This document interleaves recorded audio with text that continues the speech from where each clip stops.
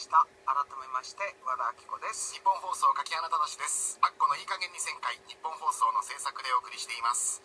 この時間からは新潟放送でお聞きの皆さんにもお送りします。はいよろしくお願いします。12時50分頃のクイズ和田オネアのコーナー。電話に出てクイズに正解されると1万円が当たります。クイズはこの番組の中のアッコさんの発言が問題になっています、はい。聞いてくださっていれば必ずわかるという簡単なクイズです、出場ご希望の方はメールとファックスにはお名前住所電話番号を忘れなくラジコで聞いている方はラジコで聞いていますと一言書いておいてください。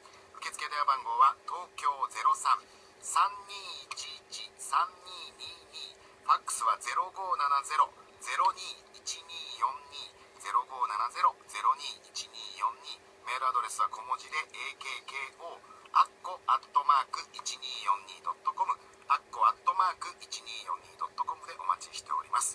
先ほどこのいい加減に旋回2月20日に泉ピン子さんが、はい。えー生出演というお知らせをしましたら、たくさんの感想が届いております、はい。福井で聞いてらっしゃるパリジェンヌさん、はい。ピン子さんが20日に生出演のこと。はい。とのこと。はい。カレンダーにちゃんとおメモりました。あそうですか。はい。はい。何でもストレートに話してくださるお二人のトークを楽しみにしていますと、はあ。ピン子ちゃんは言うでしょうね。私以外に言ってますか？私ですか？ね自分では分かんない。どう？かっき私何でも言ってる？相当オブラートにくるんでる気がしますね。これだって本気で言っちゃったら芸能界生きていけないでしょ。私が辞める時に全部実名で言うっていういろんなあ下この後の和田スポ大変だねこの後の私。なるほど。はいはい。いやでもこういう意見も静岡で聞いてらっしゃるまなみさんはね、はい。えー今日も楽しいお話ありがとうございますあっこさん実はこの番組私聞くまでは、はい。あっこさんはちょっと怖いイメージがあったんです、ははい。かっこごめんなさい。いえいえ。でも番組を聞くようになって、はい。いろんなエピソードを聞くうちにはい。あっこさんは本当はとても女性らしくわお。気配りのある優しい人なんだと感じるようになりました。あそれはねもう50人取っていただいていいです。もう怖いのでもいいですし。はい。もう何でもはいはい、えー川越のピノキオさん、はい。ピン子さんスタジオ生出演ですか、はい。楽しみです。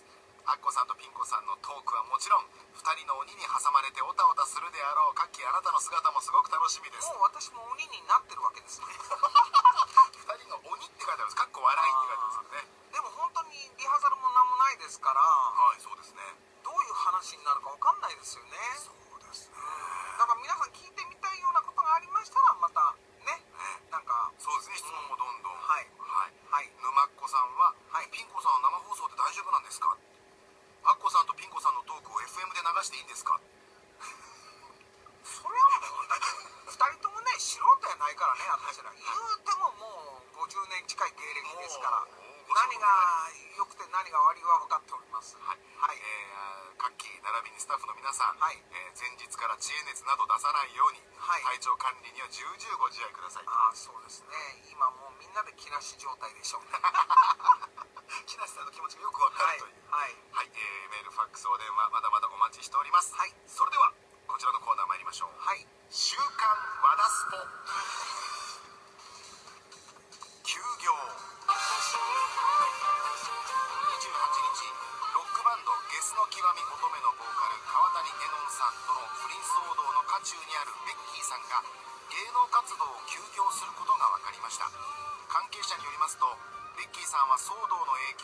心身ともに壊れる寸前でとても仕事を続けられる状態ではないそうで所属事務所はテレビ各局に休業を申し入れたそうです。それを受けて今朝放送の生番組への出演も辞退。他にも続々とレギュラー番組への出演が見送られています。そんな中「週刊文春」の最新号ではベッキーさんと川谷さんが「レッツポジティブ」という合言葉で励まし合っていることなどを伝えています。そしてベッキーさんばかりが叩かれる風潮が続く中川谷さんにも「ゲスの極み乙女」の最新アルバムのタイトルのように両成敗を求める声が上がっていますが手遊びの代償は本当に大きいようです。謎の交番。28日テレビ東京系の人気番組「開運なんでも鑑定団」でレギュラーを務める石坂浩二さんの交番が明らかになりました。内で石坂さんの発言シーンがほとんどないことがネット上で話題になっていて今回の交番もそれが発端とされています。一部報道では収録では石坂さんは普通にコメントしているものの制作サイドが意図的にカットしていると伝えています。この背景には番組責任者との間の確執やメンバーを刷新したいとの思惑があるとも言われていますがテレビ東京側は事実関係を明らかにしていません。歩間違えばパワハラとも思える行為に番組のファンだという小倉智昭さんも激怒されているようですが果たして真相はいかに？告白。28日スタップ細胞問題で世間を騒がせた理化学研究所の元研究員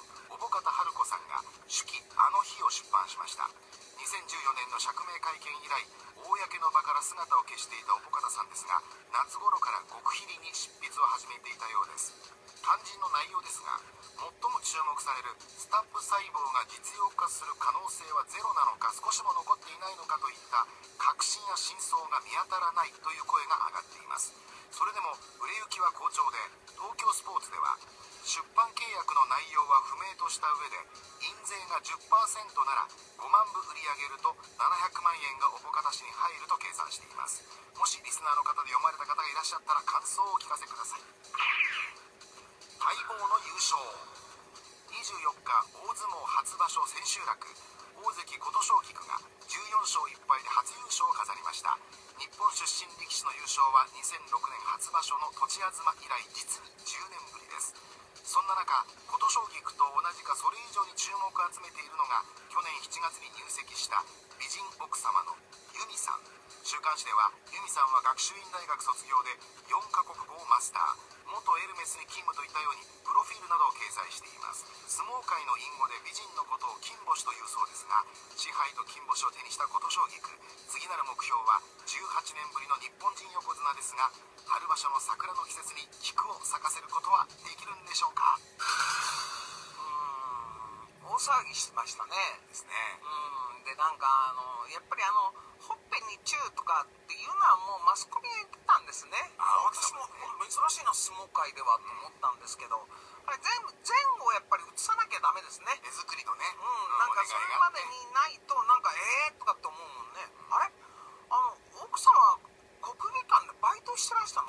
そういう時代もあるみたいですね。えー、お相撲はとにかく好きだっていう、こういうのあの今外国でさあのなんだっけな忘れちゃったけどあのやっぱり海外で主人公に対して恋してた女の子がね好きだ好きだ好きだっつってあなたとも結婚したいとかもう好きだってずーっと4年間か5年間、えー、ツイッターでつぶやいててで変だと思われてもいいとか言いながらそしたらその本人がニューヨークでなんかイベントやった時に会ってやっぱりもう今すぐでもチューしたいとか言ったら結婚しちゃったのね。本当ですそういうこともあるからやっぱり野球なんかでもよくアナウンサーの人とありますありますもんね、あなんかそのアルバイトしてる時から琴奨菊さんのそのなんか誠意ある対応というのになんか惹かれて、はあ。やっぱファンだったらしいですね。はあ。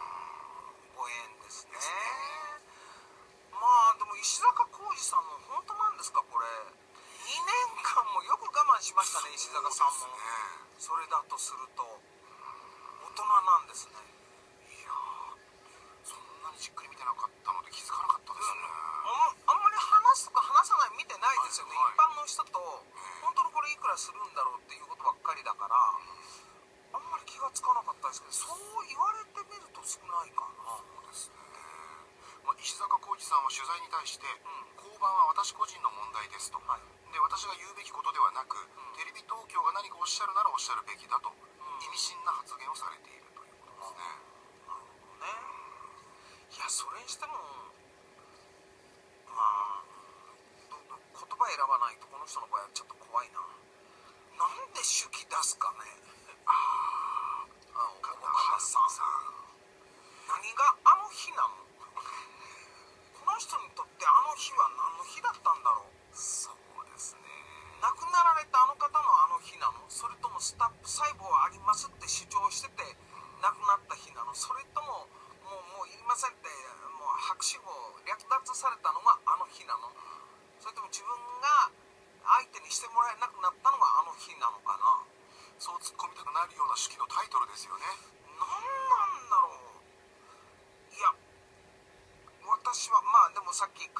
スナーの方で読まれた方がいらっしゃったなら感想をお聞かせください、はい、そういえばあんなに騒がせたんですからね。